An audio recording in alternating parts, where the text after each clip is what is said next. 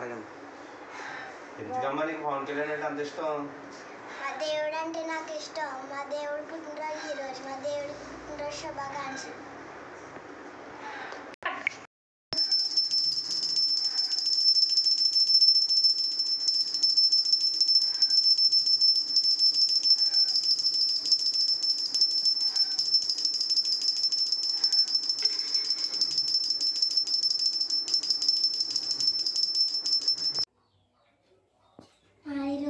దేవుడు పుట్టినరోజు మా దేవుడి కోసం నేను పూజ చేశాను. జనం జనం మా దేవుడి కోసం నేను పూజ చేశాను.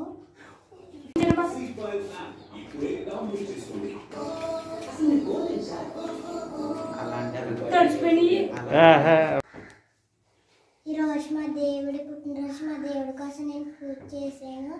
మా దేవుడికి పుట్టినరోజు శుభాకాంక్షలు.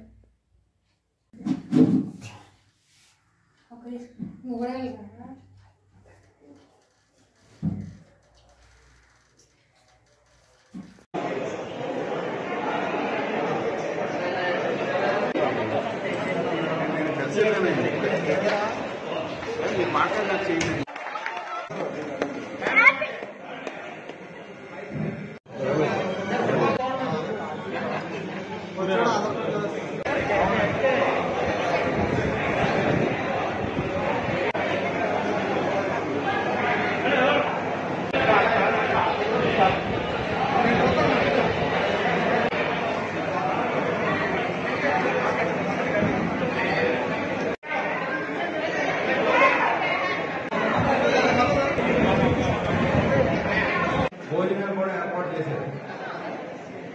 జన సైనికులు నా దగ్గర డబ్బులు లేకపోయినా పర్లేదు.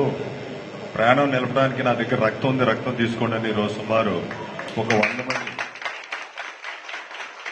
రక్తదానం చేయటానికి ఎదరికొచ్చారు వాళ్ళందరికీ పేరు పేరున నేను మన జన సైనికులు పార్టీ సభ్యులందరూ తరఫున పార్టీ తరఫున కళ్యాణ్ గారి తరఫున ప్రతి ఒక్కరి తరపున వాళ్ళందరికీ కూడా పేరు పేరున శిరస్సు నుంచి హృదయపూర్వక ధన్యవాదాలు తెలియజేస్తున్నాం.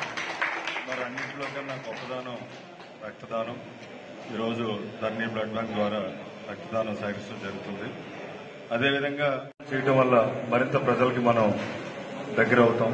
డెఫినెట్గా అవసరంలో ఉన్నామని ఆదుకుంటమే జనసేన లక్ష్యం అనే నినాదంతో మన ప్రజల్లోకి వెళ్ళాలని చెప్పేసి తెలియజేస్తూ ఆయన ఆయురారోగ్యాలతోటి సుఖ సంతోషాలతో ఆనందంగా ఉంటూ రాష్ట్రాన్ని అభివృద్ధి దిశగా తీసుకెళ్ళే నాయకుడిగా ఎదిగి రాబోయే రోజుల్లో చక్కటి పరిపాలన ఆంధ్రప్రదేశ్కి మనం ఇవ్వాలి.